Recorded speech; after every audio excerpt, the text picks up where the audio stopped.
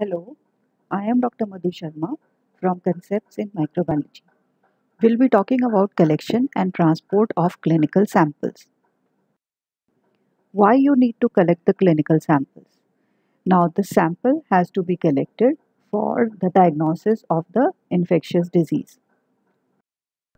What are the rules for the collection of sample? Now, before you start with the collection of sample, you have to follow all aseptic techniques. For this, you need to wash your hands before and after the collection. You collect the sample before starting on any antimicrobials because if you have started with antimicrobials, it will tend to interfere with the isolation of the organism. The organism will be uh, suppressed and you will not be able to reach to a uh, diagnosis then you have to try and avoid all the contamination possible by taking all aseptic measures. Because if you get contamination again you will not be able to come to a correct diagnosis. Then collect the sample in an appropriate phase of illness too early or too late. You should know what test has to be collected in what phase of illness. Okay? So uh, it has to be very very uh, appropriate and correct. Okay? Collect sample from the actual site of infection to reaching to a particular diagnosis. Then collect adequate amount of sample. Okay? If you have uh, less amount which has been collected naturally it will not be sufficient to perform the required laboratory test. So you have to collect the adequate amount of sample.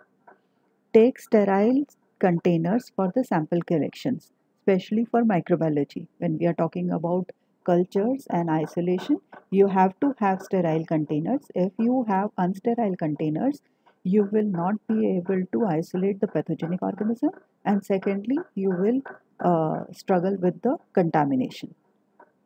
Then tightly secure the lid of the sample container. Because if you have a loosened cap or the lid it will again uh, firstly it will introduce contamination and secondly your sample will be uh, leaking outside.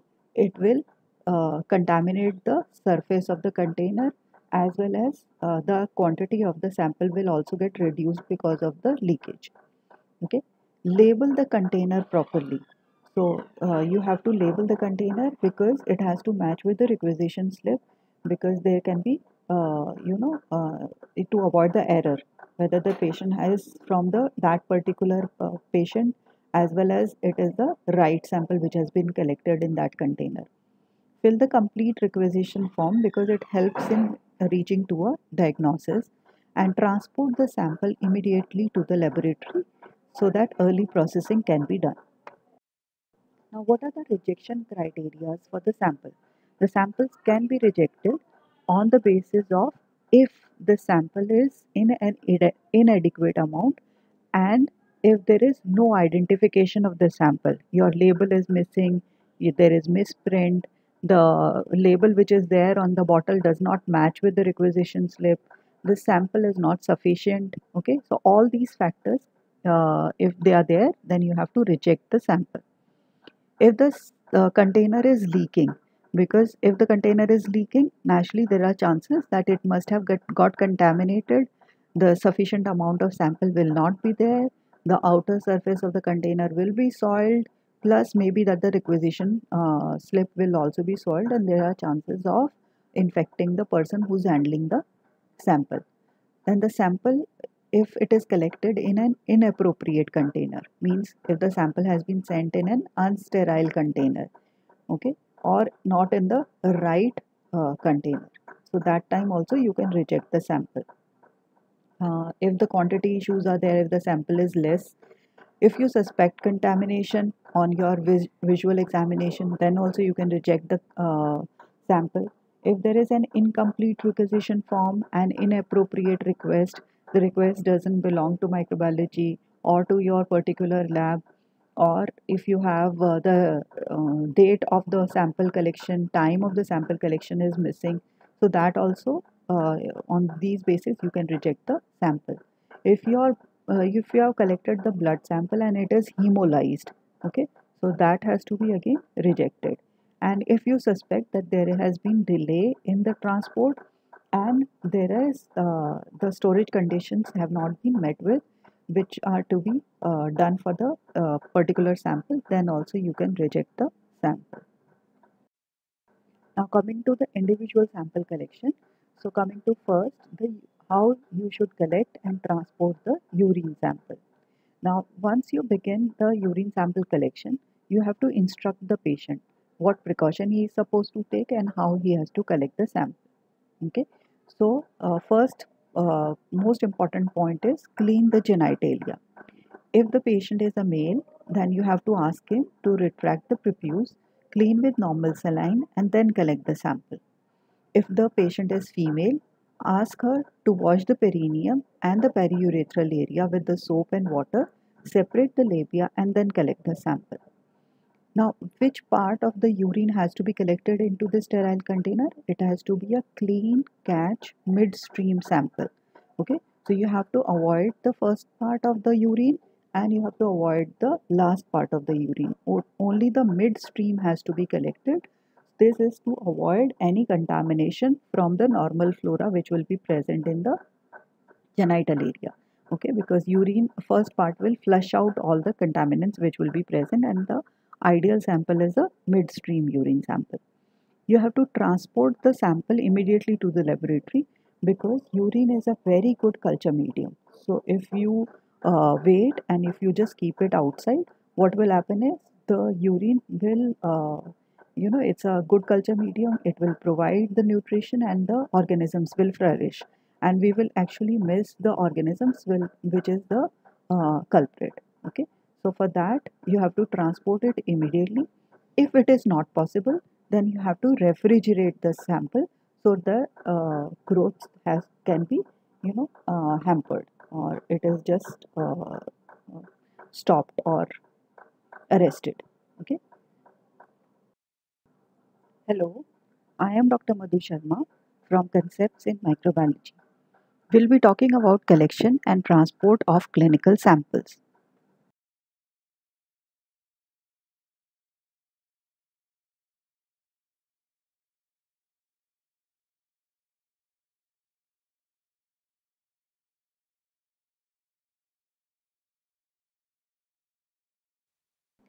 Now coming to the collection of cerebrospinal fluid sample collection. Okay. Now cerebrospinal fluid has to be uh, collected by an experienced medical practitioner.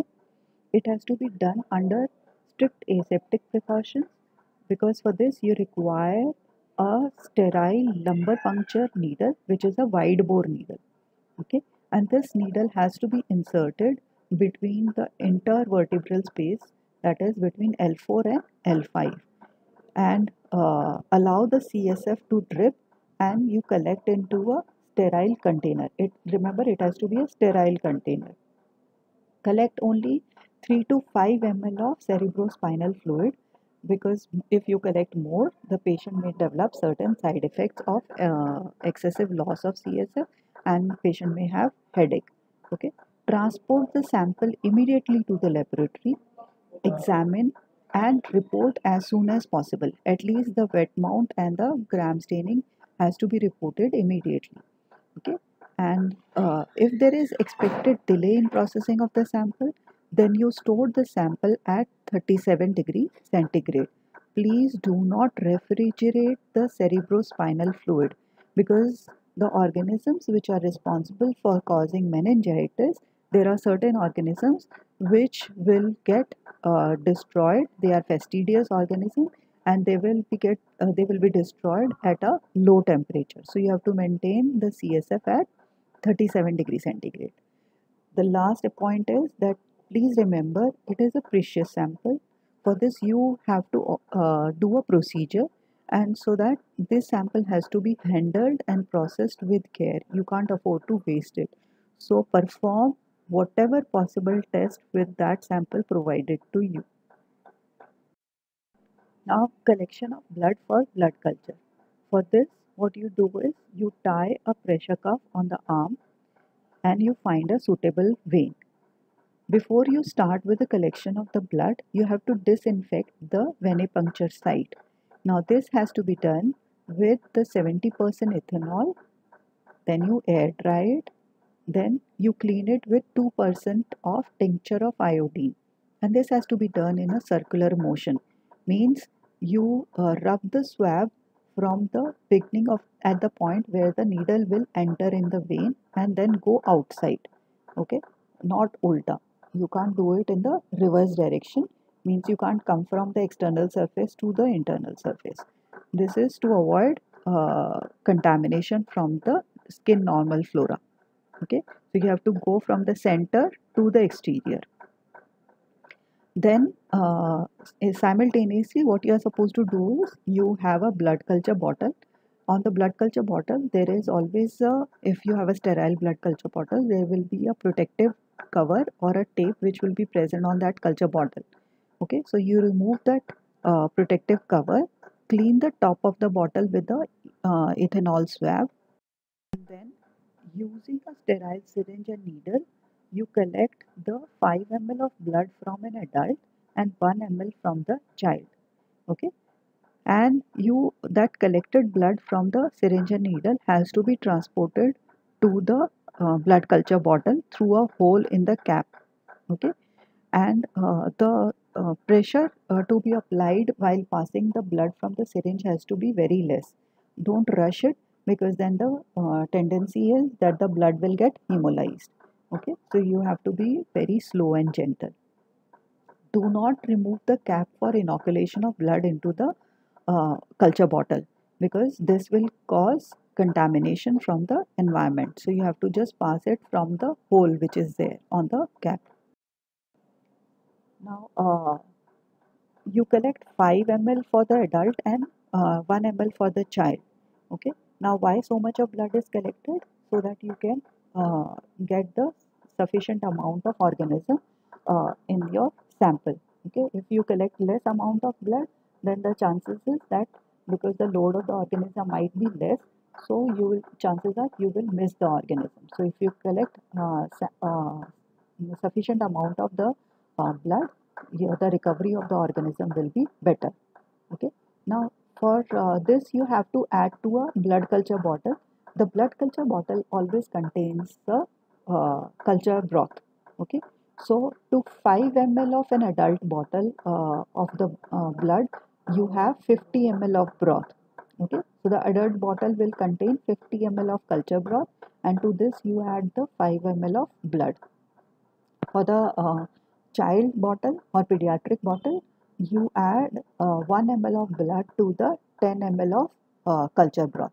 Now why uh, this uh, dilution is there this is to provide 10 fold dilution because it will minimize the uh, inhibitory actions with in the blood okay which will be present in the blood okay. So uh, the natural components are there which can be bactericidal or bacteriostatic. So if you provide this dilution this will uh, be interfered and you can recover the organism okay? After inoculation of the blood sample in the bottle wipe the top of the cap with the ethanol swab and replace the protective cover.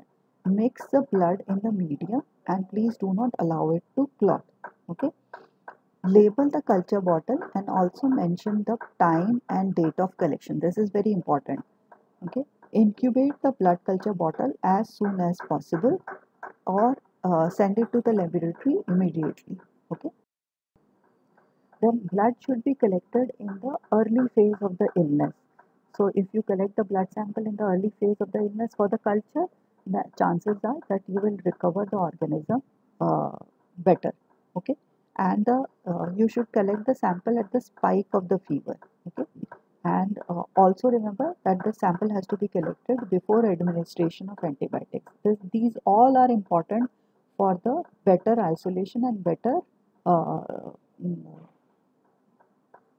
better recovery of the organism okay then do not refrigerate the sample after the collection.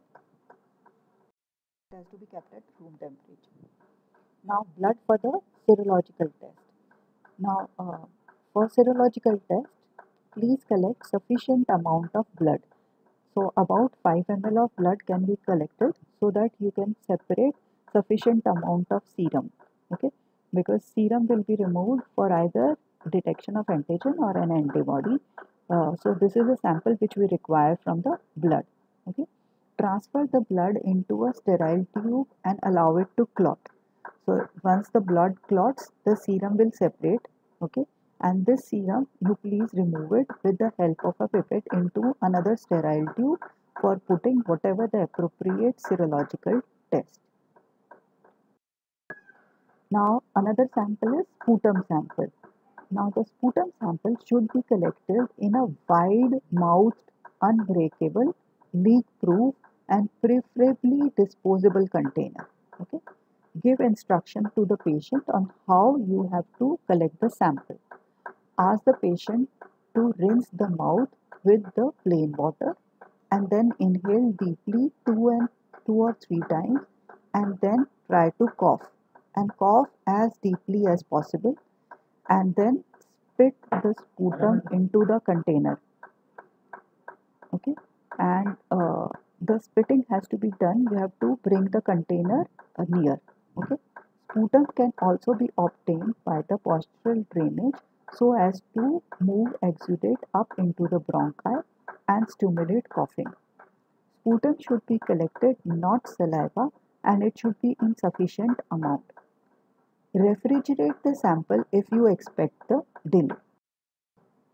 Now how you are supposed to collect the throat swab? Two throat swabs should be collected. Okay. For this you need to depress the tongue with a tongue depressor. Rub the swab on the inflamed area of the throat, pharynx or tonsils with a sterile swab. Do not touch the surroundings of the or other parts of the mouth and do not touch the saliva. How can you collect the pus and the other uh, discharges?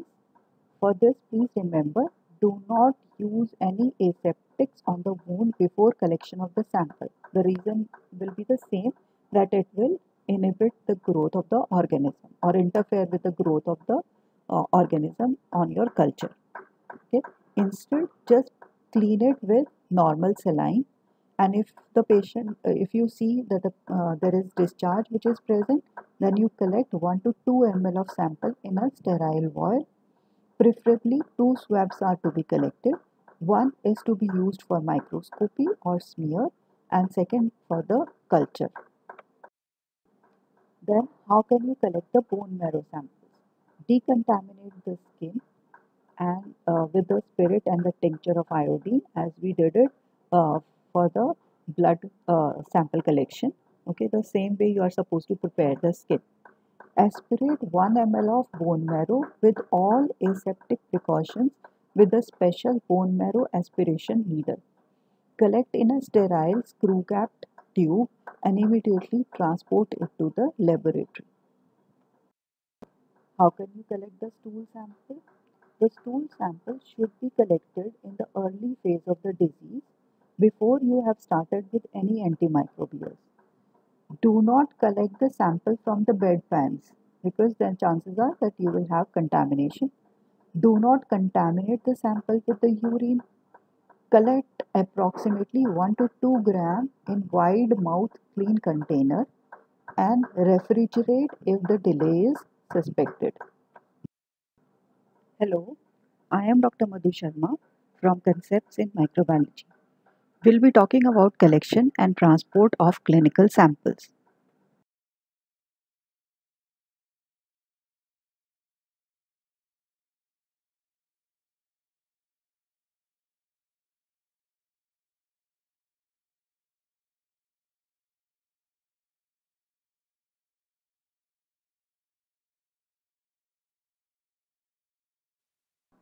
Thank you so much. Please like and subscribe to the channel